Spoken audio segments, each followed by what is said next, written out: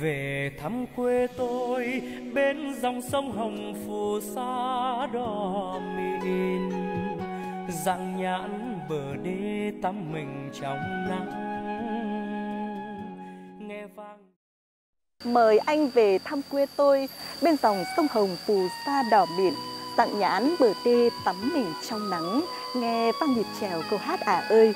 À vâng, đó là những câu ca mở đầu trong nhạc phẩm Hương Yên quê tôi, lời thơ Vũ Văn Toàn, nhạc Nguyễn Quang Thạch như một lời mời gọi du khách thập phương hãy về với Hương Yên. Từ xa xưa, Hương Yên không chỉ nổi tiếng là một thương cảng sầm uất với những di tích lịch sử văn hóa độc đáo mà Hương Yên còn được biết đến bởi những sản vật hấp dẫn đến kỳ lạ mà thiên nhiên đã ưu ái ban tặng cho mảnh đất nơi đây khiến du khách thập phương dù chỉ thưởng thức một lần cũng sẽ nhớ mãi không bao giờ quên.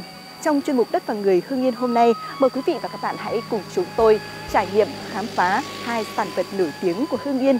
Đó là nhãn lồng Hương Yên hay còn được gọi là nhãn tiến vua và sen Hương Yên. Trải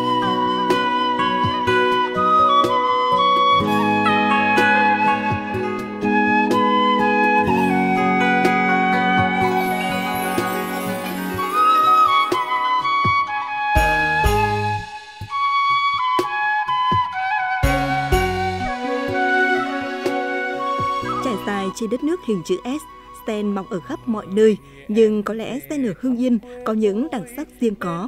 Trước sự ưu ái mà thiên nhiên đã ban tặng cho vùng đất Hương Yên, sen vươn mình ở khắp các làng quê, sen tự khoe sắc và tỏa hương ngào ngạt tinh khiết, không có loại hoa nào sánh bằng.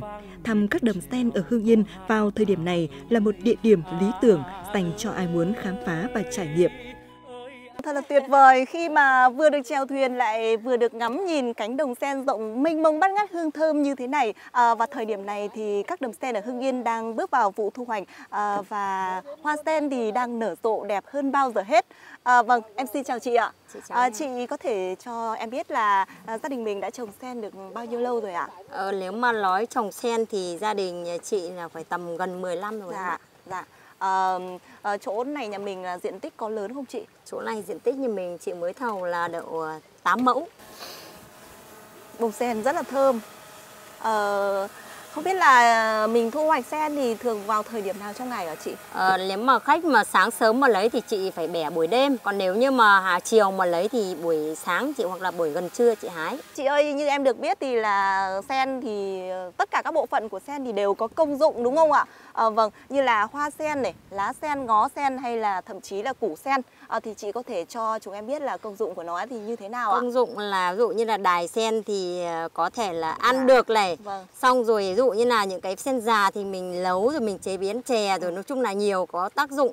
Dạ. Hoa này thì mình thắp hương. Vâng, Thế còn ví dụ lá thì để mình uống, mình, mình sao lên mình uống để chữa bệnh. chữa bệnh đúng không? Đấy còn ngó sen thì ví dụ như là nhiều chỗ người ta đặt để để gọi là làm Ờ, nộm đấy Làm làm nộm, nộm, làm vâng. nộm. Đấy Và rồi củ củ sen. củ sen thì ừ, chị cũng là một thực phẩm rất là ngon đúng không?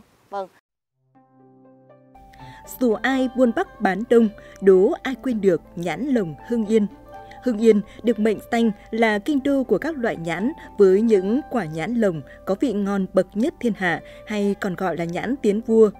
Tương truyền xa xưa ở Chùa Hiến thuộc tỉnh Hưng Yên có một cây nhãn sum xuê cành lá, năm nào cũng sai quả, mã đẹp khác thường, quả tròn, hạt nhỏ, cùi dày, vị ngọt đượm, hương thơm mát, quả to.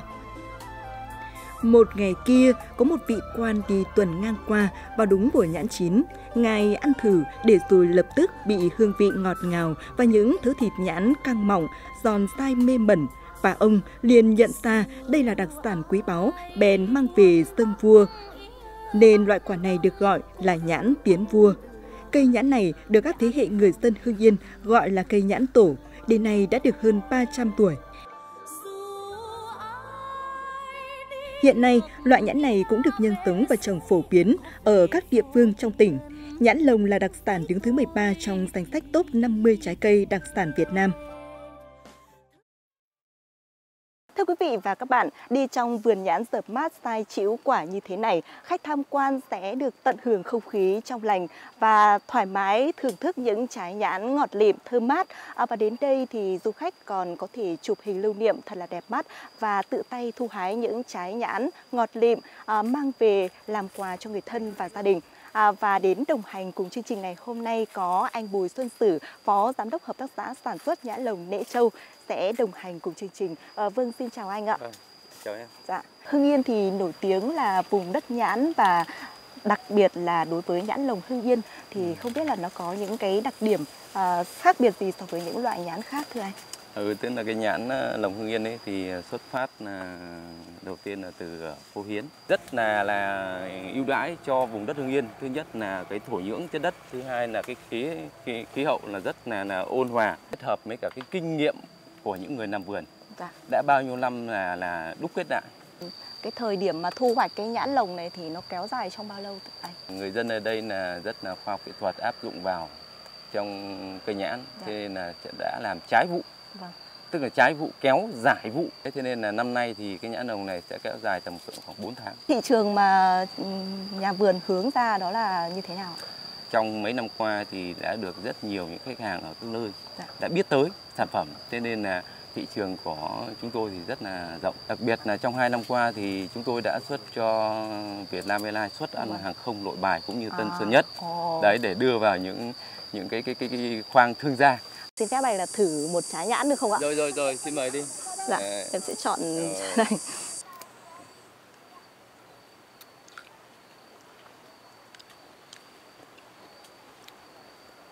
Sau khi mà đã nếm thử cái trái nhãn này thì em có cảm thấy là cảm nhận là vỏ nhãn thì rất là mỏng, cùi nhãn thì dai, dày ờ, và vị ngọt thanh đúng không anh? đúng. Và có hương vị rất là đặc trưng. À, anh có thể cho biết là nó có cái đặc điểm khác biệt gì so với những cây trái nhãn khác? ví dụ như là trái nhãn lồng thì thứ nhất là nó rất là đều đều quả cái thứ hai vỏ mỏng như em nói rồi Vâng.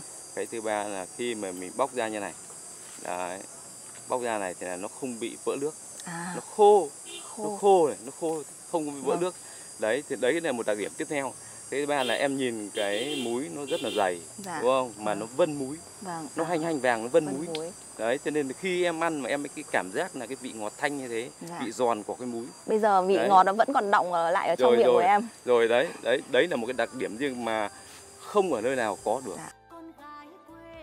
Hưng Yên hiện có trên 4.800 ha nhãn với gần 4.200 ha đang cho thu hoạch, sản lượng ước tính gần 50.000 tấn. Nhãn lồng được trồng tập trung ở thành phố Hưng Yên và các huyện Tiên Lữ, Khoái Châu. Cùng với đặc sản nhãn lồng, Hưng Yên có hàng trăm hecta diện tích ao hồ đầm lầy trồng sen, tập trung nhiều ở thành phố Hưng Yên và các huyện Ân Thi, Kim Động, Phù Cử, Tiên Lữ. Các đầm sen nằm chủ yếu ven sông Hồng và sông Luộc. Với đặc điểm thổ nhưỡng, hạt sen Hương Yên được đánh giá có vị thơm bùi, ngon, bở, đặc trưng hơn khi trồng ở các vùng khác. Người dân Hương Yên không chỉ bán nhãn tươi và sen tươi mà còn chế biến thành lòng nhãn và hạt sen khô. Các cơ sở sản xuất lòng nhãn và hạt sen đều tuân thủ theo quy trình khép kín nhằm đảm bảo chất lượng của sản phẩm, mang đến cho lòng nhãn hương vị thơm ngon, ngọt ngào mà giòn giòn mới lạ. Sen có vị thơm, ngon đặc trưng. Đây là những món quà quê giản dị nhưng đầy ý nghĩa, có thể dùng làm quà biếu hoặc đem ra thưởng thức những ngày đặc biệt. Điều kỳ diệu thiên nhiên khéo sắp đặt để sen và nhãn cùng đơm hoa kết trái vào mùa hè. Nhãn là vương giả chi quả, là tinh túy của đất trời và bàn tay chăm sóc của người dân nơi đây. Sen được coi là vương hậu chi hoa. Đây là sự chất lọc những gì thanh cao nhất giữa chốn buồn lầy. Hai đặc sản lòng nhãn hạt sen có thể chế biến thành rất nhiều món ăn bổ dưỡng khác nhau. Tuy nhiên, hai loại này kết hợp thành món chè sen, lòng nhãn, món ăn xưa chỉ dành cho các bậc vua chúa, giờ thành món ngon dành cho du khách khắp miền đất nước. Chè sen long nhãn là sự kết hợp tinh túy giữa hương vị trời và đất, vị ngọt thơm của long nhãn quyện lẫn vị bùi của hạt sen tạo thành hương vị riêng biệt hấp dẫn khó cưỡng. Đây cũng chính là một nét độc đáo trong văn hóa ẩm thực của Hưng Yên. Bây giờ mình nấu món chè sen lông nhãn thì nguyên liệu của mình sẽ chọn sen và nhãn như thế nào ạ? Cho nó ngon nhất. Để một món chè sen long nhãn ngon thì à, nguyên liệu đầu tiên mình phải à, chọn được nhãn tươi. Bây giờ mình là đang mùa nhãn tươi và sen cũng tươi, cho nên là à, để mà chọn à, làm thế nào để à, cái à, nhãn vừa là ngon này thì phải lấy quả vừa mọng và à, tròn mọng. Cho nên là nếu mà mình lấy quả to quá thì khi bọc hạt sen vào nó cũng không ngon. Sen thì mình phải chọn là sen bánh tẻ tươi cho vào rồi trong cái cùi nhãn này. Thì là nó vừa bọc ôm với nhau. Bây giờ chị mời Dạ. em. Em mời chị ạ. Sau khi mà được nếm thử cái món này của chị thì em có cảm nhận là long nhãn giòn, dai và ngọt, ngọt thanh. Còn hạt sen thì rất là bùi, bở và ngọt, ăn rất là ngon ạ. Nhãn ngọt, sen bùi đều là những đặc sản quý của vùng đất Hương Yên mà chỉ riêng Hương Yên mới có. Hai sản vật này đã trở thành biểu trưng của vùng đất Hương Yên trong con mắt của bạn bè bốn phương. Đến Hưng Yên vào dịp này, du khách sẽ được đắm mình trong những đầm sen ngát hương thơm hay những vườn nhãn bạt ngàn chĩu quả, hòa mình với thiên nhiên đất trời. Đây hẳn sẽ là một trải nghiệm thú vị khó quên đối với mỗi người.